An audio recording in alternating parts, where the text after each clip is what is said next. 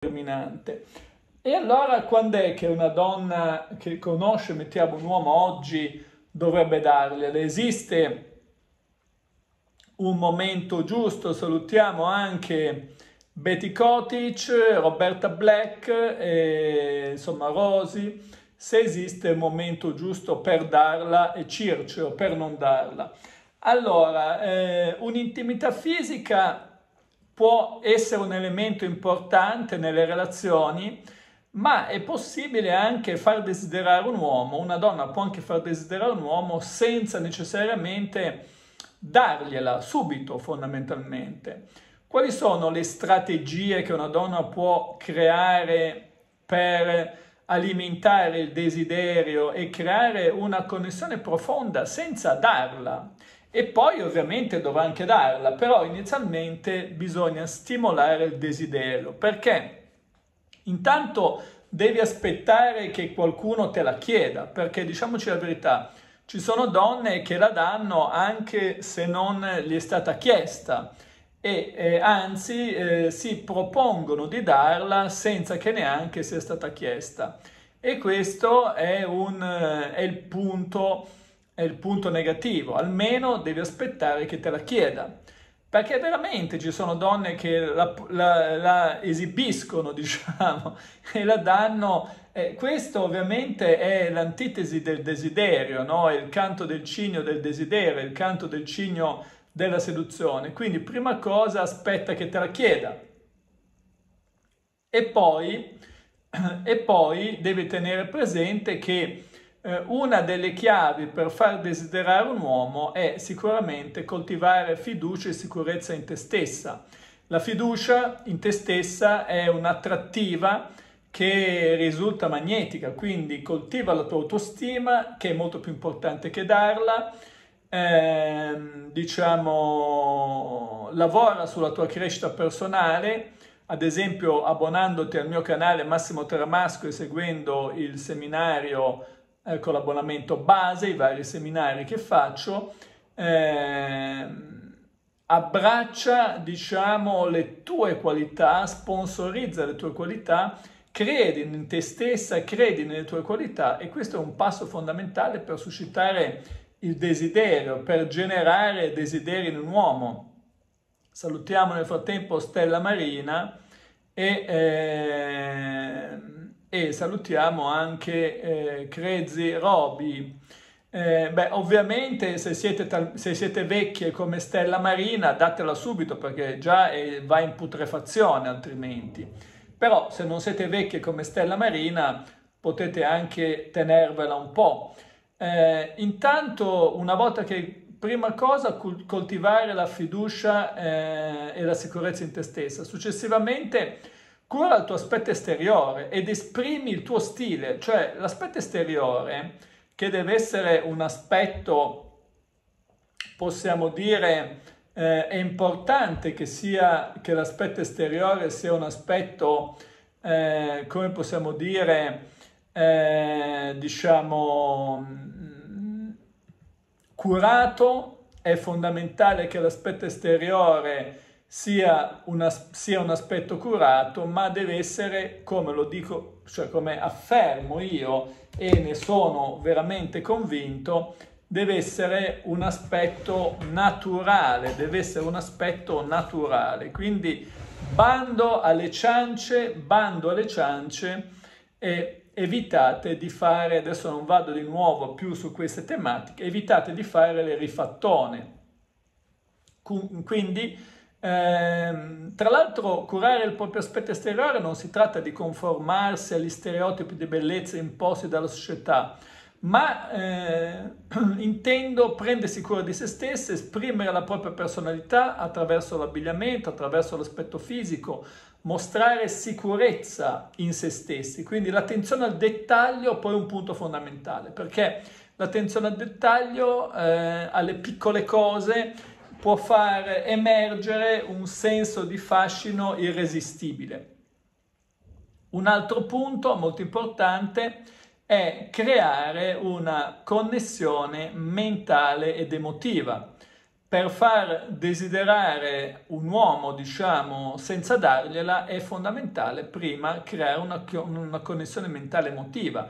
Quindi dedica un po' di tempo a conoscerlo a un livello più profondo, ascolta quali sono le sue passioni, cerca di eh, stimolare la sua mente, ad esempio, con conversazioni interessanti, non farti percepire come una ignorantona, una eh, che non sa portare avanti una una che non sa portare avanti una discussione, che non sta portare avanti un qualcosa di intelligente, no? Perché ci, certo ci sono donne che sanno portare avanti una discussione ma in modo stupido, no? Parlando di puttanate assurde eh, o che comunque non interessano alla persona non interessano al maschio di qualità. Quindi cerca di far vedere che hai anche diciamo da un certo punto di vista una intelligenza eh, conversazionale. Questo è un punto, credo, fondamentale, un punto molto importante questo, perché altrimenti se tu non riesci a fare questo, eh, veramente sei una capra che difficilmente riuscirà a conquistare qualcuno. Quindi è molto importante eh, creare una connessione profonda, quindi da questo punto di vista anche attraverso il dialogo. E poi mantiene una certa dose di mistero. Eh, il mistero è un potente strumento di seduzione, non svelare tutto di te fin dall'inizio, ma piuttosto lascia che l'uomo ti scopra, adesso parlo degli uomini, ma di queste strategie valgono anche per le donne, ti scopra lentamente e scopra le diverse sfaccettature della tua personalità mantieni una dose di mistero, mantenere una dose di mistero crea sicuramente un senso di curiosità, di desiderio ed è un punto fondamentale. E poi crea dei momenti di tensione, perché la tensione emozionale, eh, stimolare le tensioni emozionali è un punto molto importante, è un punto fondamentale. Eh, il gioco della seduzione può essere alimentato da momenti di tensione, la capacità di flirtare, eh, attrarre con il linguaggio del corpo, utilizzare lo sguardo, eh, il contatto casuale, le allusioni, la comunicazione. Tra l'altro la comunicazione, ad esempio, seduttiva è un punto fondamentale, ad esempio quello che sto spiegando, eh, diciamo, quello che sto spiegando nel mio seminario sul canale Massimo Teramasco, quindi la, la comunicazione seduttiva, eh, ipnotica da un certo punto di vista, può stimolare veramente attrazione e quindi imparate ad utilizzarla è fondamentale. E, ehm, poi ovviamente eh, quindi eh, coltivare anche una vita pagante è molto importante, cioè un aspetto trascurato nella seduzione è quello di coltivare una vita pagante al di fuori della seduzione stessa. Avere hobby, interessi, amicizie ti renderà sicuramente più attraente agli occhi di un uomo. Mostrare che hai una vita ricca, soddisfacente, ti rende più desiderabile, poiché eh, ti fa capire che sei indipendente, che la tua felicità non dipende dalla relazione con lui, che è un punto molto importante, è un punto fondamentale questo. Ora, poi ovviamente bisognerà anche arrivare a una, un'intimità fisica e l'esperienza, diciamo, dell'intimità fisica è sicuramente un aspetto importante no, in una relazione, perché anch'essa darla, insomma, eh, può essere una fonte di connessione, di piacere, di crescita emotiva. Eh, ovviamente la, eh, se l'hai appena conosciuto è meglio non darla. La decisione di darla a uno che hai appena conosciuto è, è, è spesso deleteria, è, è, spesso deleteria, perché prima di darla eh, è fondamentale intanto sapere quali sono le tue aspettative, perché se la tua aspettativa è soltanto quella di darla, eh, non c'è problema, diciamo che basta darla e se il tuo obiettivo è solo quello, eh, non, ha, non ha nessun, eh, diciamo, non ha nessun, eh, nessuna valenza. Eh, ovviamente sapere quello che tu vuoi è fondamentale. Quindi devi considerare i tuoi valori personali, devi considerare la visione della vita che hai e prenditi il tempo per riflettere e per capire se ti interessa soltanto diciamo una relazione eh, o anche una one night stand come direbbe Green Apple, dagliela subito. Uno l'hai conosciuto in discoteca oggi, dagliela oggi stessa, se eh, diciamo ti fa piacere da questo punto di vista. Ma se tu vuoi diciamo, creare tensione, creare emozione, devi prima conoscere una persona e devi far sì che questa persona investa qualcosa su di te. Qualcosa non significa che ti deve offrire una cena, non significa che ti deve dare qualche cosa, diciamo, di per sé fondamentalmente. Eh, ma è importante, è importante tenere presente questi fatti, questi fatti fondamentali. No? Bisogna imparare, bisogna imparare a, a, capire quali sono le cose che vogliamo ottenere da una situazione, da una relazione. No? Quindi se tu vuoi ottenere una relazione a lungo termine devi imparare a creare un desiderio mettere dei vincoli e vedere se questa persona accetta dei vincoli.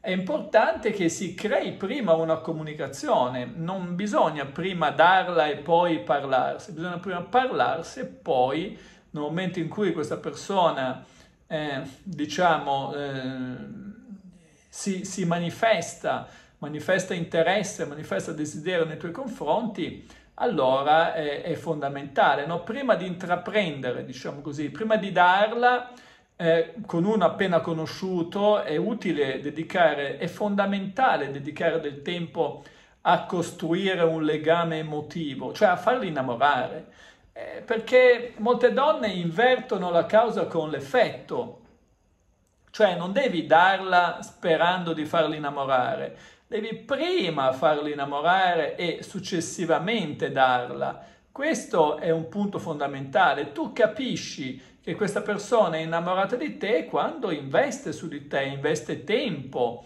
investe, eh, diciamo, investe, eh, come possiamo dire, investe energie, investe, investe qualche cosa su di te, no? Se tu vuoi creare una relazione che possa durare nel, del tempo.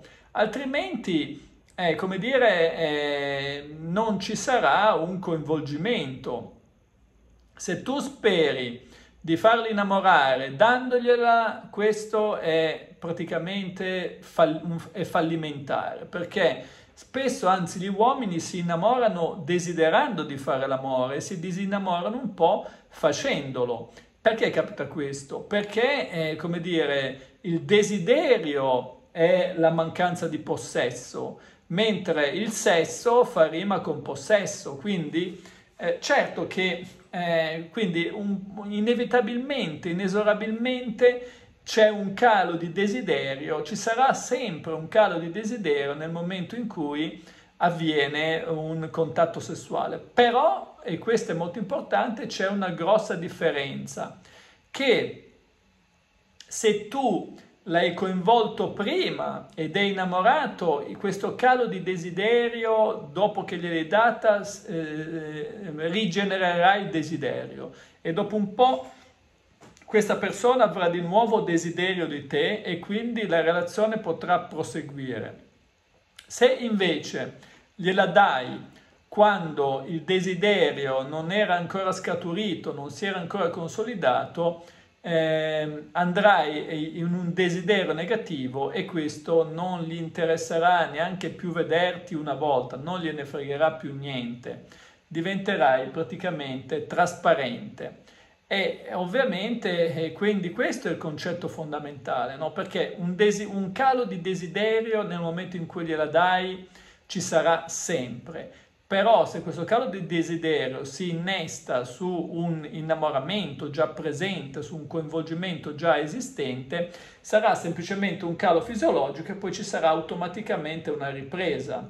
Quindi il grafico eh, andrà così. Se invece parti da zero, andrai sotto. Potrei anche disegnarvi un grafico, diciamo, no? eh, per voi che siete ignoranti come delle capre, potrei anche disegnarvi un grafico, cioè in un caso quando partiamo da un desiderio eh, che cresce, nel momento in cui c'è il sesso il desiderio cala, in questo punto qua c'è il sesso e poi però riprende, quindi sarà tutta una cosa di questo genere, no? Questo è l'aspetto positivo, diciamo, quando eh, qua sull'asse eh, delle ascisse, diciamo, delle ordinate c'è il desiderio, se tu la dai quando il desiderio, diciamo, è, arriva a un certo punto, ci sarà un calo, ma poi automaticamente, fisiologicamente si riprenderà, ci sarà un calo e il coinvolgimento, questa linea del coinvolgimento andrà verso l'alto. Se invece tu eh, gliela dai quando il desiderio è praticamente zero, cioè il coinvolgimento è praticamente zero, questo è il grafico del coinvolgimento, cioè di fatto non è innamorato, è a zero, e tu parti dal sesso, vai a zero, vai in questo modo. Avrai un grafico al negativo praticamente, cioè eh, questo è interessante, no? Questo, qua ci sarà il sesso, e qua ci sarà di nuovo il sesso e qua ci sarà di nuovo il sesso e sarà tutto al negativo e quindi non ci sarà più una ripresa, no? Quindi la cosa fondamentale è partire da un aver creato prima un coinvolgimento, un coinvolgimento sufficientemente alto che col calo non vai sotto, perché anche se ci sarebbe la terza possibilità che hai creato un coinvolgimento basso e che col sesso vai sotto e anche in quel caso lì non funziona. Quindi eh, bisogna tenere presente questi fattori. No? Eh, questi fattori sono fondamentali per far innamorare. Quindi come fai a capire quindi quando è il momento eh, giusto? Beh, puoi capire che è il momento giusto quando eh, senti che questa persona ha investito su di te Ovviamente eh, poi come puoi incrementare la cosa? Beh, puoi incrementare la cosa, puoi incrementare la cosa se ad esempio dopo avergliela data tendi a sparire tu, per dire, no? Allora puoi dare di nuovo un po' di tensione, ma è fondamentale comunque aver creato prima un legame emotivo, perché se prima non hai creato un legame emotivo abbastanza solido, il sesso lo distruggerà è come avere dei figli in una relazione non consolidata, no? Questo è ancora peggio, eh? Se, tu, se due che stanno assieme e non è una relazione molto consolidata e hanno dei figli, sicuramente si separeranno, perché i figli non tendono a unire in una coppia, no? ancora molto di più del sesso, no? Perché i figli ovviamente richiedono una stabilità nella coppia, no? Perché i figli eh, ti fanno girare i coglioni, si svegliano di notte, fanno casino, e quindi eh, diciamo non ottieni poi di fatto nessun risultato fondamentalmente, no?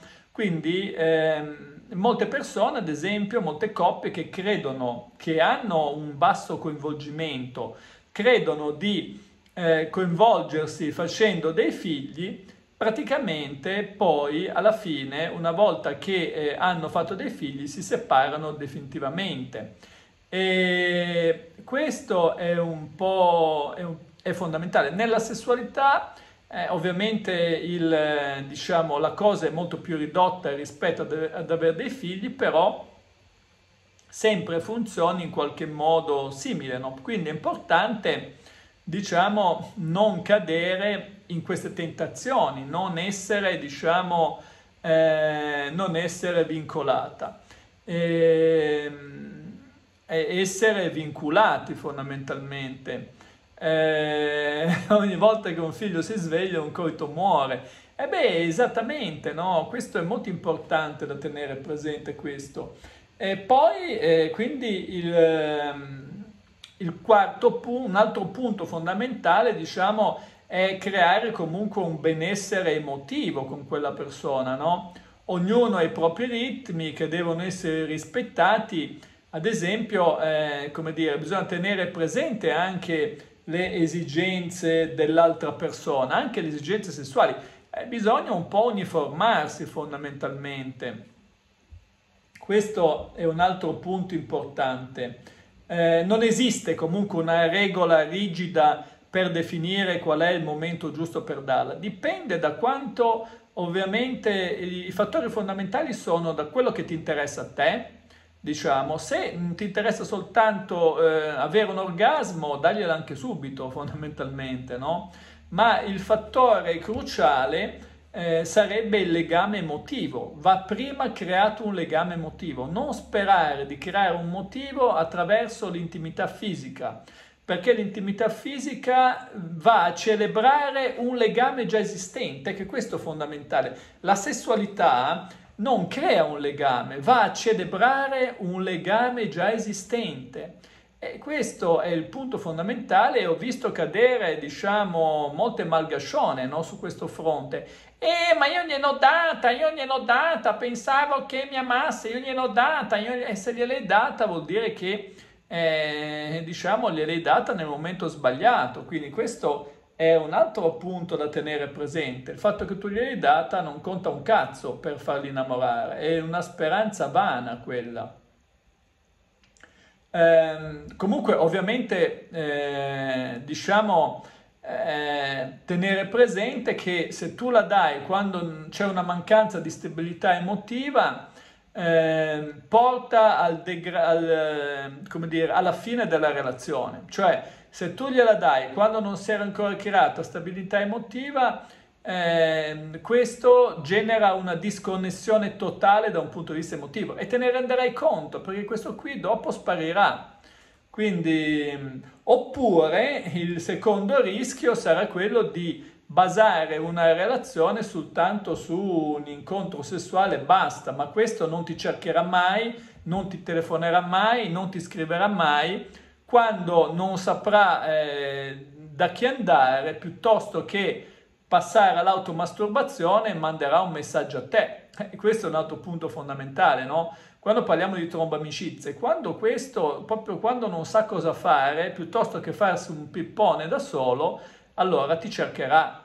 E questo è un punto fondamentale, no? Ma non è perché ti cerca e perché è coinvolto con te, ma non ti scriverà, non ti parlerà, non gliene fregherà un cazzo di stare con te e ti cercherà soltanto quando eh, non avrà trovato nessun altro e allora dovrà decidere tra Federica e te e allora magari sceglierà te. Invece se magari potrebbe ancora scegliere Federica, eh? quindi eh, dipende un po', insomma. Quindi ehm, diciamo che darla troppo presto comunque influenza la percezione complessiva della relazione ehm, e quindi bisogna avere, capire qual è il momento giusto.